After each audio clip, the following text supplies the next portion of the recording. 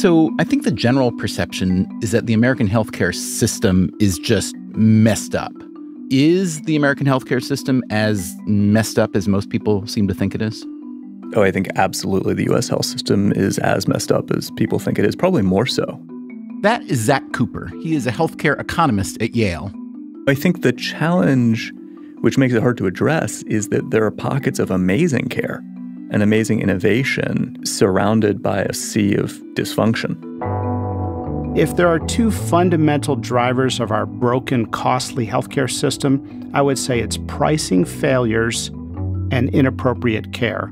And that is Marty Makary. He is a surgeon at Johns Hopkins and the author of The Price We Pay What Broke American Healthcare and How to Fix It. We did a national survey asking physicians across the country what percent of medical care, in your opinion, is unnecessary? The average answer was 21%. If one in five services delivered in any industry is entirely unnecessary, you'd say that's where the waste is and that's where we need to focus.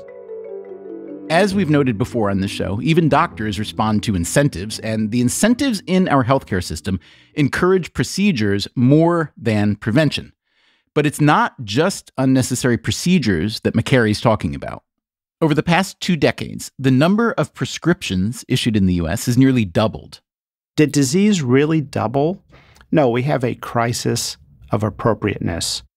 As our healthcare system was becoming prolific at dispensing pills and procedures, it was also becoming a massive industry. Today, it includes more than 18 million workers, and it's still growing faster than nearly any other sector. The jobs have followed the money. Over the past two decades, the price of hospital services has outpaced inflation by an average of nearly 3.5% each year. Before COVID hit, hospital systems were making record profits. So were insurance companies, with the average American family of four paying about $20,000 a year for coverage. Many insurance firms have done even better recently as the pandemic led patients to put off non essential care. So, if you consider the primary stakeholders of our healthcare system, healthcare providers, insurance companies, and patients, the big players are doing extremely well. The stakeholders are making a ton of money, except for one stakeholder, which is the patient. The US has the biggest GDP in the world, and we also spend the biggest share of our GDP on healthcare, about 17%, or $3.5 trillion a year. Among other OECD countries, the average expenditure is 8.8%. After the US, the next highest is Switzerland at 12%. Now, you could look at America's massive healthcare expenditure and think, how great is it that we choose to spend so much of our money taking care of ourselves and our loved ones? For all that money, we must be absurdly healthy. But we're not. US rates of infant mortality and maternal mortality are shockingly high. We also have high rates of obesity, diabetes, and cardiovascular diseases. Life expectancy in the US does beat out Russia, India, all of Africa, and parts of Eastern Europe, but we're lagging Western Europe, Canada, Australia, Japan, South Korea, as well as Greece and Iceland. So, what exactly are we getting for all those pills and procedures? Or maybe the better question is why do we need so many in the first place? Here's one clue the US does not spend much money on prevention. The Centers for Disease Control and Prevention, it is right there in the name, the CDC spends just $1.2 billion a year for all chronic disease prevention activities. That is less than $4 per person. So today on Freakonomics Radio, what would you do if you wanted to get better health outcomes without spending the trillions we currently spend? For 50 years, we've been told by hospitals we can't give you a price. When I say the phrase healthcare is a right, you say what? I say that is a conversation that we have not had in America. And most healthcare reform calls for big, bold action. What happens if, instead, you think small? There isn't stuff that saves 15%. It's a series of 1% steps. Is the solution to America's healthcare mess a 1% solution? That's coming up right after this.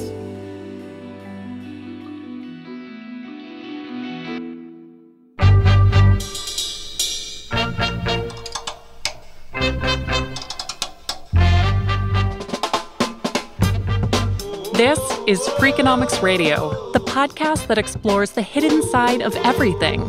Here's your host, Stephen Dubner.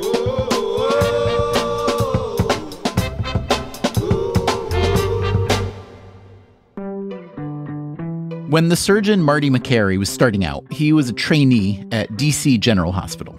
This was at the government run city hospital in Washington, D.C. One elevator at DC General was particularly busy. And at one point, the elevator was broken and the doors were stuck in the open position. Well, some employee walked in there, fell, and died.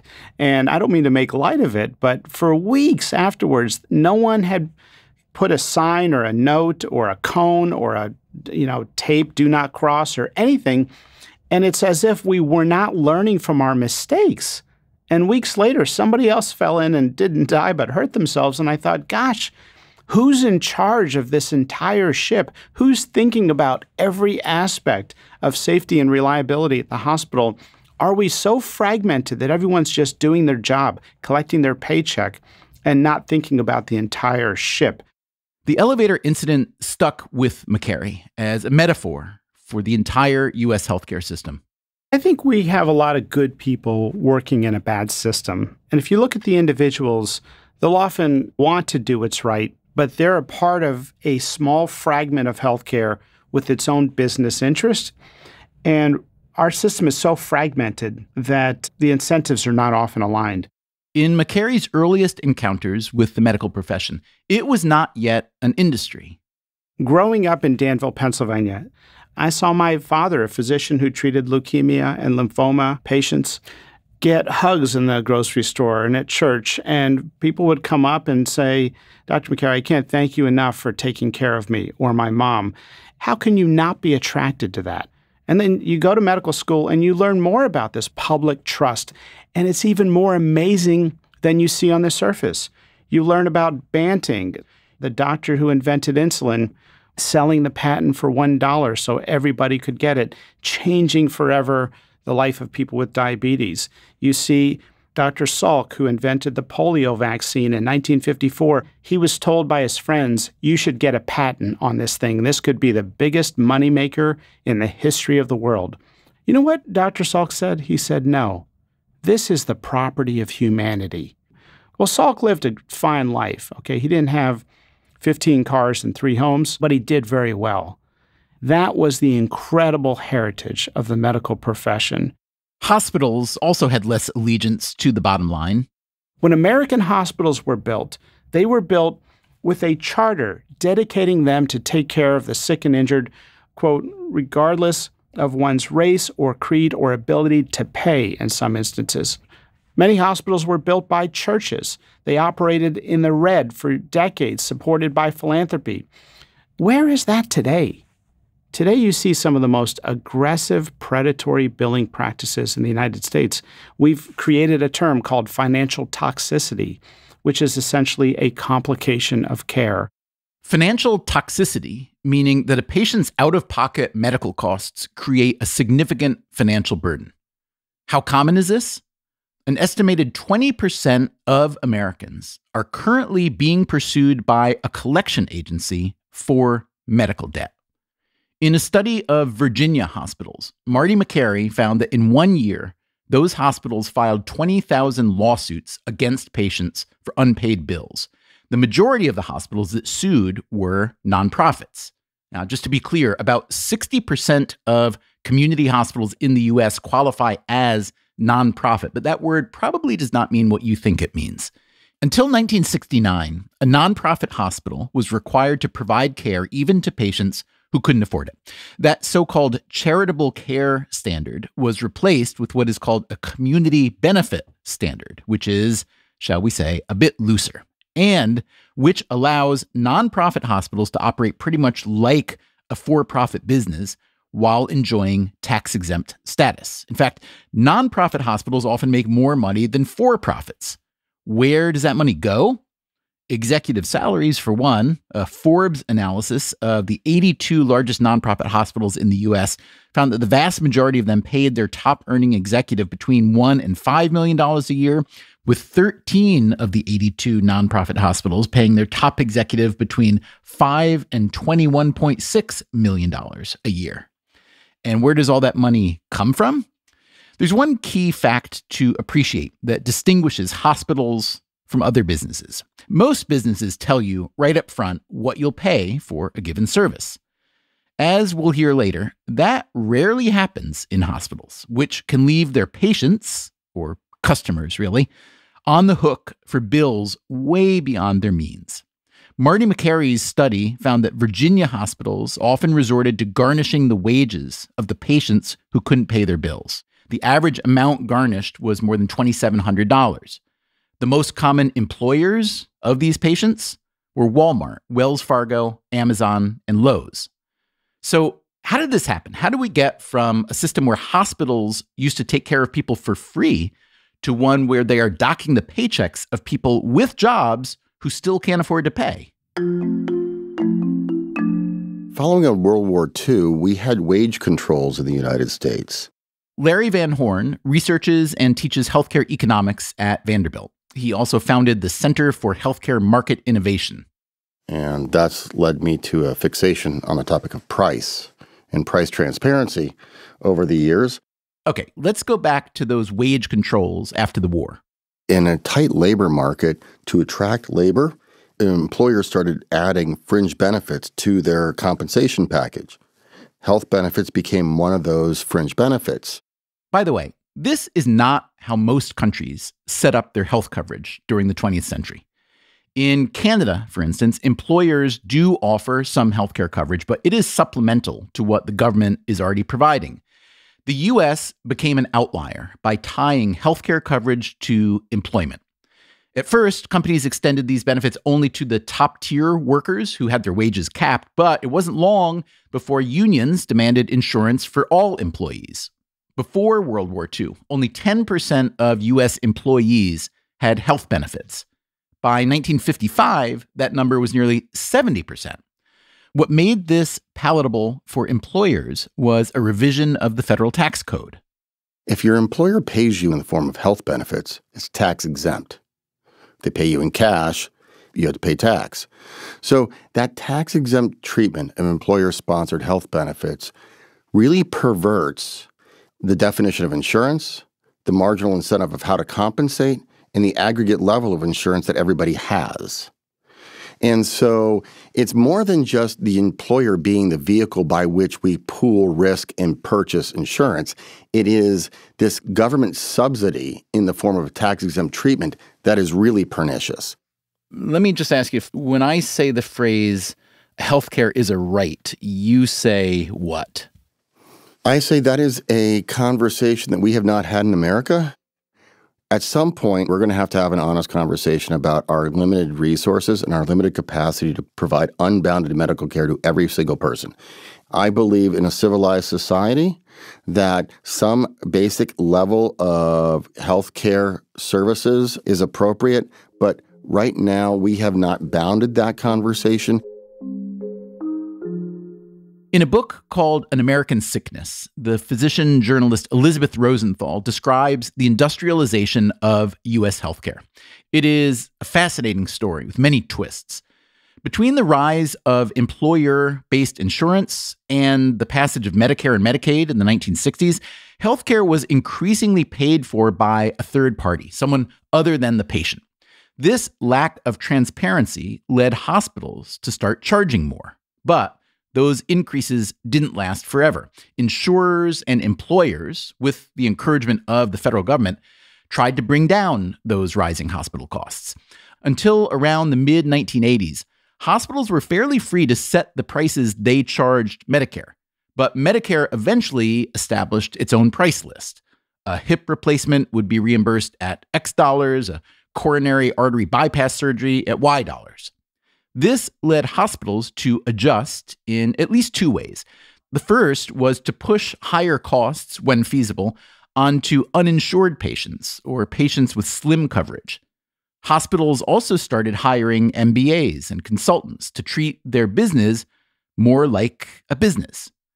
This brings us to where we are today, with 38% of Americans covered by Medicare or Medicaid and over 50% who get insurance through their employer. The current trend is for a lot of these employers to drive down insurance costs by doing the job themselves. A lot of businesses today are saying, why do we have insurance? That, again, is Marty Makary. Apple has over $100 billion in cash reserves. That was true when we interviewed Makary. Apple now has nearly $200 billion in cash. Why do they need a company to protect them from high priced bills? So, what you're seeing now is a trend towards self insuring. And what you're seeing is that employers like HEB are already fixing healthcare on a small scale. HEB is a Texas supermarket chain. I believe that we're the largest uh, private employer in the state of Texas. That's Martin Otto, the company's COO. And yes, HEB self insures its employees. So, by being self insured, we basically put together through what's called a third party administrator a network of uh, physicians and hospitals to whom our partners can go for service. Partners is what HEB calls its employees. Relative to what most plans offer, ours covers a higher percentage of cost than most of them do. And the type of healthcare services that are provided, it's very complete. So it's all of your healthcare needs, then dental needs, eye care needs. If uh, somebody has mental health requirements, those are covered. It may strike you as unfortunate, or at least inefficient, that a company that sells groceries has to simultaneously master the art of healthcare coverage. But according to Marty Makary, for a company like HEB, it's worth it. They take care of their own employees in their own clinics, and they have their own pharmacy plan because they have their own pharmacies.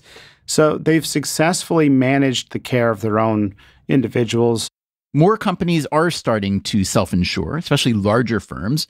And there are strong incentives to eliminate the insurance middleman, financial incentives for one, but also the desire to keep employees happy and productive.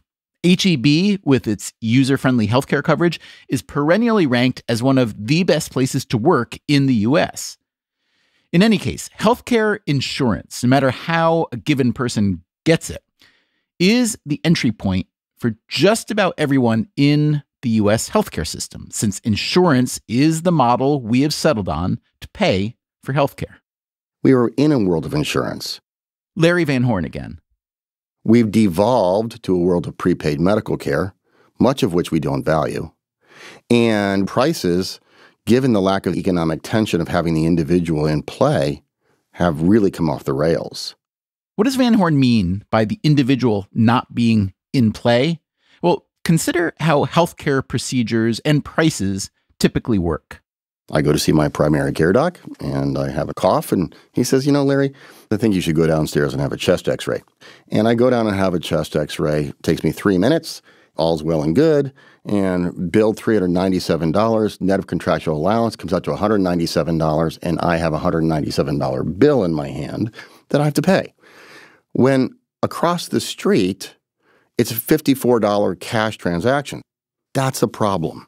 When there are no prices and people are charged after the fact through an intermediary like an employer or their insurance, we see a tremendous amount of price gouging. That's Marty Makary. And most hospitals try to do the right thing, but there are instances when Americans are routinely gouged without even knowing it. Imagine eating a hamburger at a restaurant with no prices, and then afterwards they give you a bill, and the bill's for $5,000 after you've digested the hamburger.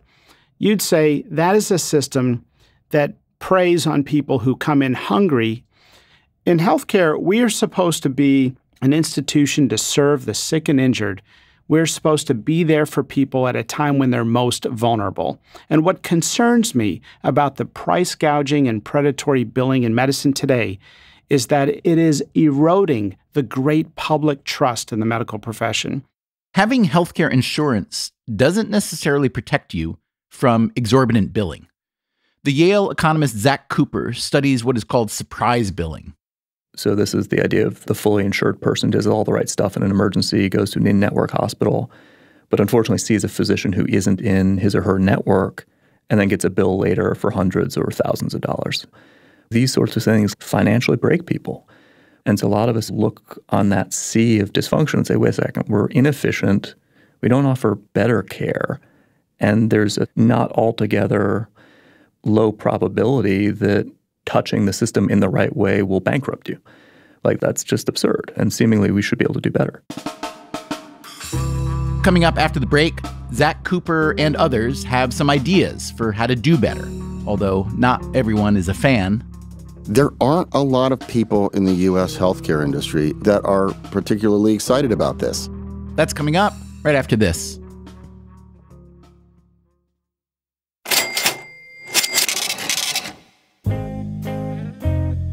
One reason it's so hard to reduce healthcare costs is that prices are often hidden. Many prices are negotiated in secret between insurers and providers. It can therefore be a guessing game as to what the patient will be liable for. There was a researcher who called 101 hospitals that do heart surgery in the United States and asked, What's the price of a standard CABG or coronary artery bypass surgery? That, again, is the Johns Hopkins surgeon and researcher Marty Makary, the author of The Price We Pay. Only 53 could give him an answer, about half. Of those hospitals that gave him an answer, the price of the CABG operation ranged from 44,000 to half a million dollars, with almost everything in between. For 50 years, we've been told by hospitals we can't give you a price. Now, no one's suggesting that we surgeons give you a price when you're shot in the chest but 60% of healthcare is shoppable, it's predictable, and we can do a lot better. Makary's 60% figure of shoppable procedures is higher than some other estimates. In any case, the opaque pricing he is talking about here may be changing sooner than you think. In June 2019, President Trump issued an executive order on price transparency in healthcare. What we did with this executive order is essentially provided data necessary for third parties in Silicon Valley or other places to make it more manageable for consumers to get price information before they actually undertake services, presumably non emergency services. That's Tomas Philipson, who at the time we interviewed him was acting chair of Trump's Council of Economic Advisors. This executive order had two directives. One is to require hospitals to disclose standard charges for all services and to provide negotiated charges or cash prices in a consumer friendly format for about 300 quote unquote shoppable services. And the second one? The second one is for insurers, and they have to essentially provide or disclose some kind of estimates of cost sharing for all covered services essentially allowing the, the consumers to shop around more across providers. So here's what the president said in announcing it Hospitals will be required to publish prices that reflect what people pay for services. You will get great pricing. Prices will come down by numbers that you wouldn't believe. The cost of healthcare will go way, way down. So he's a politician. He can make those kind of broad claims. You are an economist. What's the evidence for that kind of claim? In other words, do you feel there's empirical history and evidence that prices will come down, or is this more of a theoretical argument? Clearly, this will increase the price sensitivity of the customers if patients have better price information. And that's probably why both hospitals and insurers are against it. The paper I know that started this literature is my predecessor, Austin Goolsbee, who in the early 2000s showed that life insurance prices went way down once there was posting on the internet of their prices. And in healthcare, price transparency led to about 27% reduction in lab test spending and 13% reduction in imaging. Well, of course, not everybody would use pricing information, but proxy shoppers would. Marty Makary again. That is, the employer plans, health plans, and those fraction of people who are paying out of pocket who act as proxy shoppers for the rest of us. When I go to the grocery store, to be honest with you, Stephen, I don't look at prices. God's been good to me. I need to get in and out of there fast. But my mom does. She's looking at the price of a lemon at one store versus another and shopping based on price down to the penny. Her and her friends may represent 10 to 20% of shoppers at the grocery stores in my neighborhood, but they keep prices in check for all of us. The healthcare economist Zach Cooper is not as optimistic about the curative powers of price transparency. I initially had thought that price transparency was a huge deal. That's where an economist initially goes to. It just isn't. Like the reason we spend a lot is not because our prices aren't transparent. I think our prices should be transparent, but doing it isn't going to reduce healthcare spending. He came to this conclusion as a result of his own research. So we looked at how individuals consume lower limb MRI scans that are planned. Well, it turns out that even when the prices are available, nobody uses the price transparency tool, even when they face tons of out of pocket costs. And how does that make sense, especially to you thinking it through as an economist? So it turns out the reason they don't use it and the reason they drive past six lower priced providers between their home and where they get care is because they listen to their doctors. So when we looked at what explained the price of people's MRI scans, it was all explained by their referring physician. A couple things to say about this. One, patients aren't used to finding healthcare prices, so it may take a while to learn about this option and to get acclimated. Also, as with any economic activity, there are behavioral elements to consider too. Habits, for instance, are hard to break. Also, we trust certain people, our own doctors, presumably, more than we trust others. And finally, the path of least resistance is an appealing path.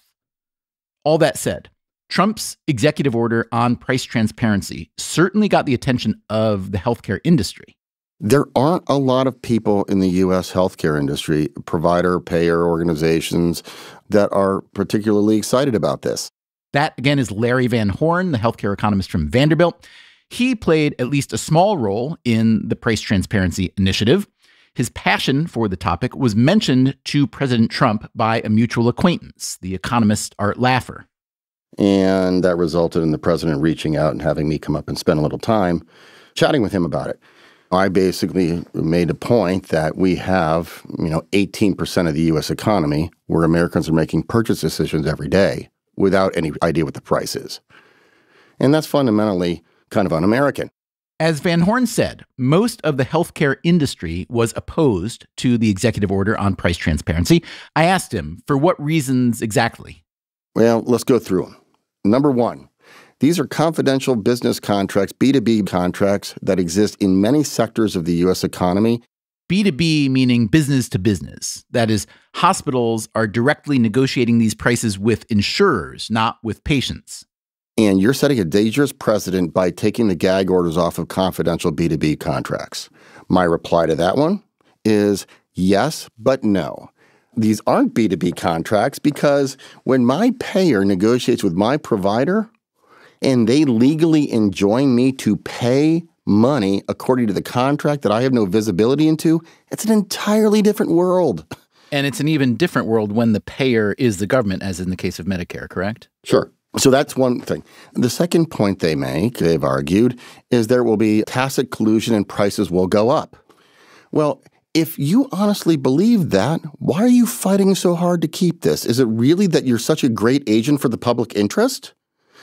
I don't believe that the market dynamics would support such conduct. I believe that uh, markets are much broader, even in oligopoly markets where you say there would be coordinated pricing. The reality is that would be highly visible to everybody, including the FTC and DOJ.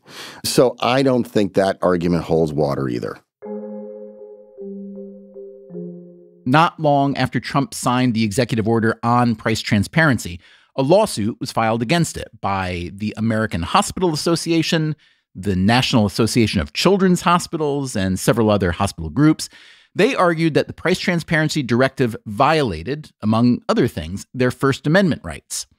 The defendant in this lawsuit was not President Trump, but this man. I'm Alex Azar, and I was the 24th Secretary of Health and Human Services, serving from January 2018 uh, through January of 2021. Great. And what are you doing now? I am uh, sleeping. Azar was named as the defendant because his department, HHS, is responsible for executing the executive order on price transparency, as well as other executive orders that Trump issued on healthcare reform, calling for lower drug prices and better access to telehealth services. Beyond these executive orders, the Trump administration pushed a variety of healthcare reform legislation. Those are very durable, legislatively authorized rules. So, not by just a signing of the pen by the president, but these are actually very bipartisan things. Here's how Azar characterizes the Trump doctrine on healthcare. We were able to actually, I think, restructure healthcare and build it all completely around the patient at the center. So, you know, for too long now, the patient has really been acted upon. The patient is been just subjected to procedures because we pay for procedures. And the patient hasn't been empowered to actually be part of a system that leads to higher quality and lower cost. We had so many distortions really dating back to the 1960s, and we tried to fix those distortions. For instance, rather than continue to focus on paying for procedures, we started paying for outcomes. So, this is what we call the total cost of care initiative, where we will pay providers a total amount of money for a year, and they can work with you to improve your health, to keep you out of the hospital, keep you out of a nursing home. And that could mean they might buy you air conditioning at home or send in meals at home or do home visits, the social determinants of health we talk about to keep you healthy and out of those institutions. And if they reduce cost, they'll get 100% of that savings. And if you cost them more money, then they'll eat 100% of that cost. And so these kinds of initiatives are, I think, going to be viewed a decade from now as having fundamentally changed how healthcare is delivered in the United States in a way that puts the patient at the center, not our institutions and not our insurance companies. We're now realizing that we have been doing too much as physicians. That, again, is the Johns Hopkins surgeon Marty Makary. And many times it was with good intentions. Sometimes it was driven by the perverse financial incentive. But we're now seeing a movement of doctors asking, hey, can we treat gut problems with healthy foods? Can we start treating joint problems with yoga or treat diabetes with cooking classes? Maybe the first line treatment for hypertension should be meditation or changing your social environment. And maybe loneliness is one of the greatest public health epidemics that stresses the body's physiology. These are the root issues that we need to be talking about. And the new movement to address root causes and lifestyle reasons for bad health is alive and well today. But the U.S. healthcare setup, as of now, still makes it much easier to get paid for treating illness than preventing it. You also have to wonder when an industry makes up 17 or 18% of GDP, trillions of dollars and millions of jobs, how likely are we to get the kind of reform that Marty Makary and Alex Azar and others have been talking about today? One encouraging sign is that the lawsuit filed by hospital groups against the price transparency order was rejected by an appeals court. As of January 1st, hospitals were required to publish their prices. A stipulation requiring insurance companies to publish their rates goes into effect next January. Drug discount prices are also included in that 2022 rule.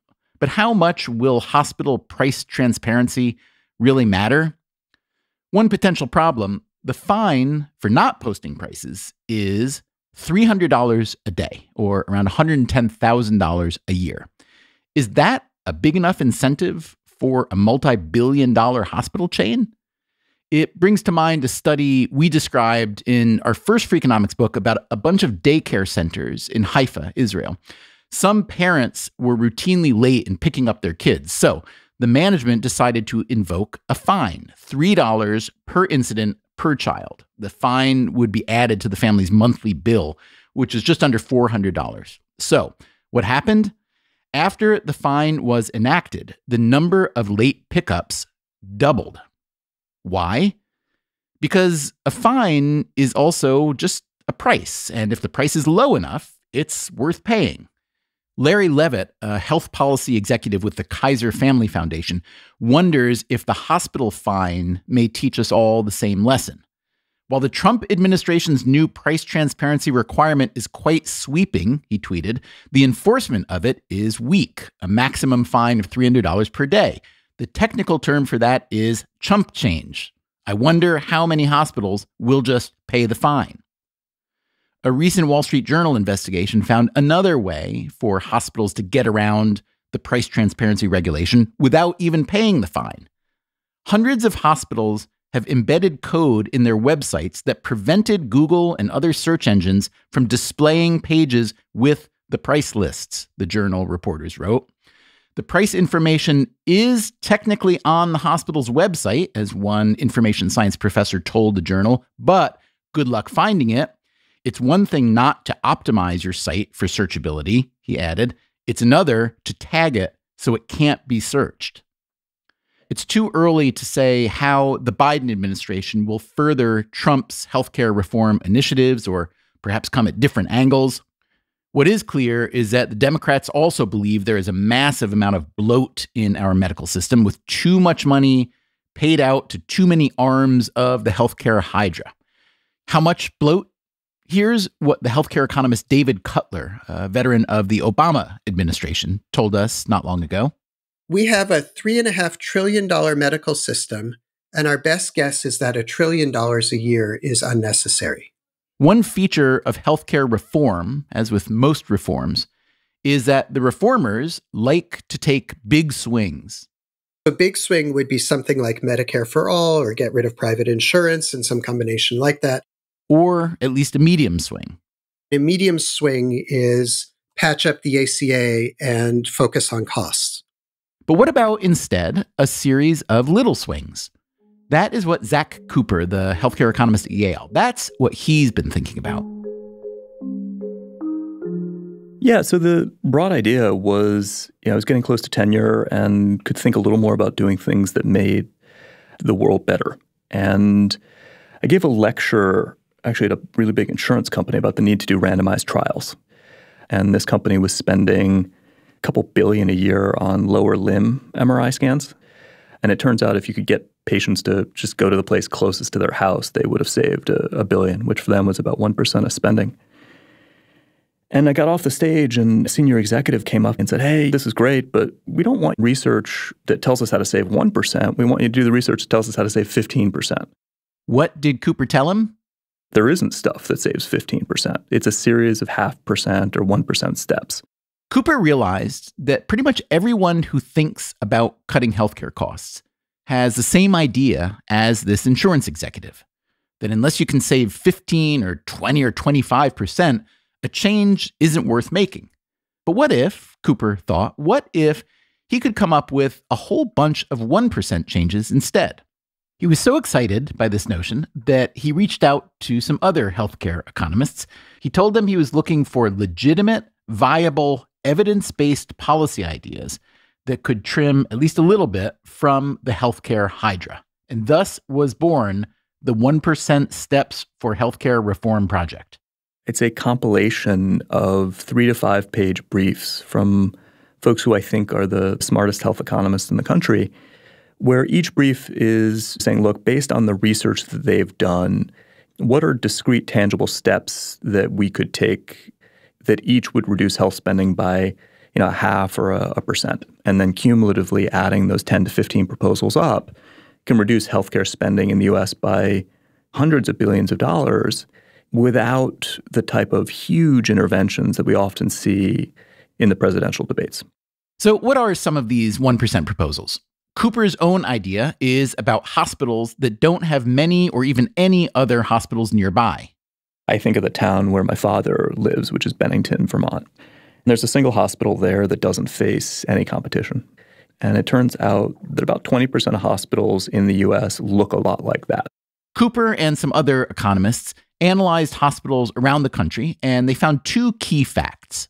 The first is that when hospitals are monopolies, they have higher prices and prices that are really quite a bit higher, 10 to, to 15%. And second, they have quality that's worse. Hospitals are the largest area of healthcare spending in the US, and these 20% have 15 to 20% premium on them. How do we set prices in regions where there isn't competition? In most markets, an economist would expect that competitors would rush in when there's profit to be made. But it is a lot harder and more expensive to open a second hospital than it is to open a second gas station or pizza place, especially in a small city or rural area. I just don't think there's a real way to introduce meaningful competition So, what's Cooper's solution? I, it sort of makes the, the economist hairs in the back of my neck stand up. Come on, it's okay. You can say it. Like, I don't like price regulation reflexively, but I think that's where we are. Price regulation? That's almost never the answer an economist gives. Well, I, so I think it's I think it's we're in a position where we need to introduce price regulation in these markets because these markets, frankly, are natural monopolies. The way you can think about the healthcare system and hospitals operating in monopoly markets is at worst they're a giant sucking machine that's sucking money out of very, very hardworking folks who are doing their best to pay very, very high insurance premiums and seeing that transfer to the healthcare system, which is primarily staffed by some of the wealthiest people in the country.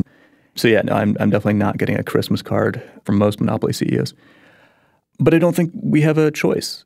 Okay, so that's one proposal from the 1% Project.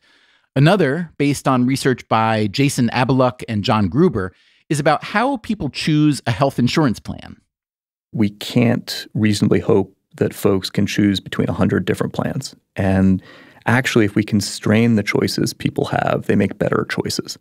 Again, this notion, constraining choices, is not what economists usually preach. Their rule of thumb is that more choice is better. But Abaluck and Gruber found that many of the extra insurance options were low quality.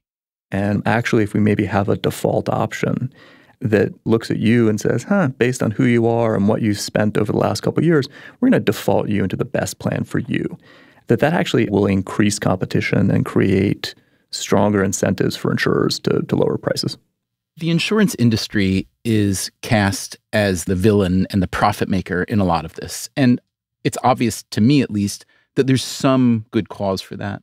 Are they as intentionally untransparent as many people assume them to be? So I don't think there's anybody with a monopoly on virtue or a monopoly of on vice in the system. There are two things to think about when we think about insurance companies. The first is higher healthcare costs really are paid by us. So you, know, you get your bill from your insurance company and it seems really, really high. Well, that's because the underlying cost of healthcare in the US is high. Now, there's some profit margin mixed in there, but most of it is the hospital and the doctor and devices. The second thing is because of the Affordable Care Act, we put in what are called medical loss ratios, which say that a certain percentage, thereabouts of 80% of what an insurer takes in, has to go out the door to cover healthcare costs. They're, in a sense, profit caps. And so if you say to a firm, look, you can only make 20% of the profits, the way to make more profits in absolute dollars is to grow the pie. And so it's sort of a, a perfect storm of circumstances to generate a system that raises costs and lower it. Now, one of your 1% colleagues, John Gruber, was involved in the creation of that scheme. Do you think that was an oversight? If you look at the history of the policymaking process around the Affordable Care Act, it was the economists who were pretty against the medical loss ratio elements there was a big push, I think, from the political folks to say, look, we can't require everybody to have insurance and not somehow constrain profits. And so I think that's like the ugly space where policy meets politics in the US. Here's another 1% solution that Cooper's colleagues have been working on. So it turns out that about 15% of the Medicare budget is spent on post acute care, which is care that's provided basically after you've been in a hospital. Post acute care can happen in a variety of places in the patient's home with a home health visitor, in a skilled nursing facility, or in what is called a long term care hospital. And long term care hospitals are interesting. They're not really distinct from skilled nursing facilities. They're sort of an administrative construct which grew out of the way the Medicare fee for service program was built in the early 80s. They started as a small group of hospitals that were meant to be rehab facilities, but they were paid way more than any other post acute provider. And what you saw happen is something that you see across the healthcare system, which is that a group of folks, often private equity firms, realize that this particular group of providers, in this case, long term care hospitals, get paid way more than anybody else for the same thing. And then they start investing in them and they start popping up across the country. Wow. And needing more customers. Yeah, exactly. And they become really hard to get rid of. The economists Amy Finkelstein, Liran Einav, and Neil Mahoney did an analysis of these long-term care hospitals. And they tried to see, well, wait a second, are they are they offering better care? Because wow, we pay them about thirty thousand more per case than we do anybody else. And the answer turns out to be no.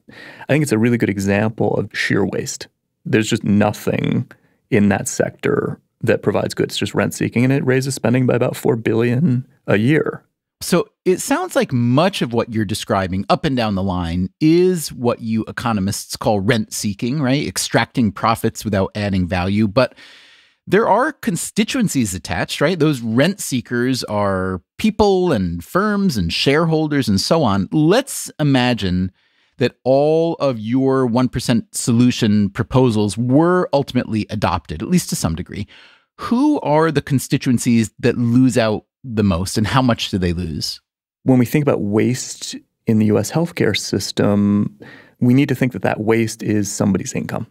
And it makes it really, really hard to tamp out. And what that's led me to do in my own work is think a lot about the political economy of the US healthcare system. It turns out members of Congress literally get more money when health spending goes up in their district. And when they do things that steer benefits to healthcare providers in the form of higher payments, they get a huge amount of additional money in campaign contributions. And so we actually have a system that rewards politicians for taking steps that raise spending. With such a complicated system, you can see why so much previous healthcare reform has attacked very large targets.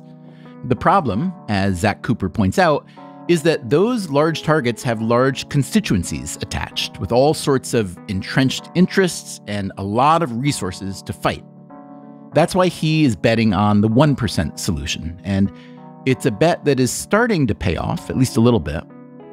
In December of 2020, President Trump signed into law, as part of the, the COVID relief funds, oddly enough, a package that had two provisions related to surprise billing.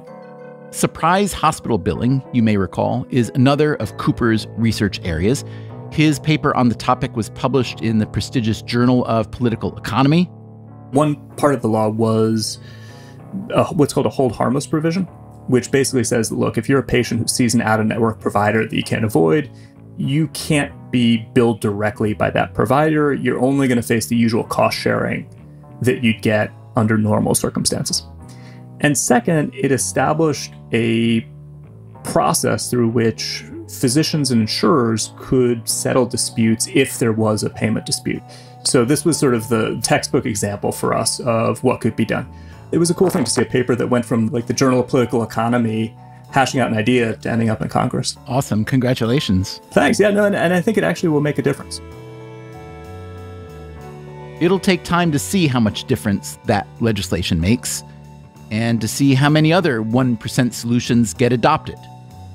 But next time on the show, we look into one segment of the healthcare industry that accounts for way more than 1% of spending. It's 6 to 7% of Medicare's overall budget, and it's almost 1% of the entire federal budget. I don't know what the legal definition is of fraud, but I think you're going to see some of those firms get pretty close to the limit the very strange economics of kidney care and the dialysis industry. That's next week. Until then, take care of yourself, and if you can, someone else too.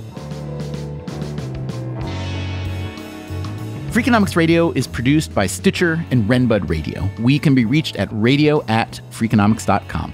This episode was produced by Zack Lapinski. Our staff also includes Allison Craiglow, Mark McClusky, Greg Rippin, Mary Duke, and Emma Terrell. We had help this week from Jasmine Klinger. Our theme song is Mr. Fortune by the Hitchhikers. All the other music was composed by Luis Guerra. You can get the entire archive of Freakonomics Radio on any podcast app. If you would like to read a transcript or check out the show notes, which have links to all the underlying research, visit freakonomics.com. As always, thanks for listening.